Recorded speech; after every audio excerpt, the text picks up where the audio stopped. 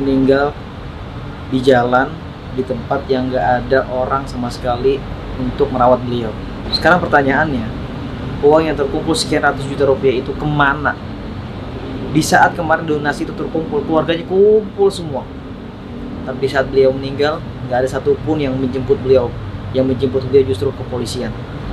Gua bakal usut tuntas permasalahan ini. Ke mana orang-orangnya?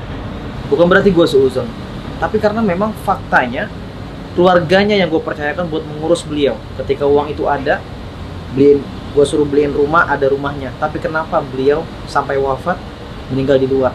Oke kalau memang itu takdirnya Allah. Yang gue permasalahkan kalau memang keluarganya betul-betul merawat seharusnya beliau wafat bukan di situ tempatnya tapi di rumahnya beliau. Nanti akan gue usut sampai tuntas dan gue akan ke sana insya Allah nanti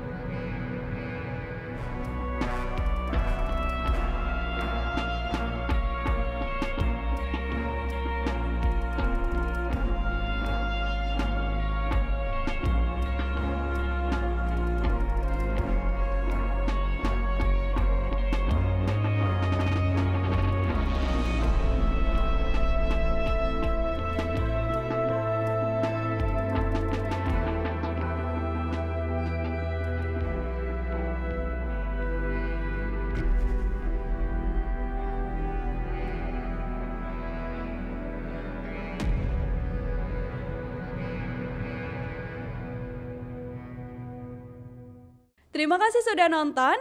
Jangan lupa like, subscribe, dan share ya.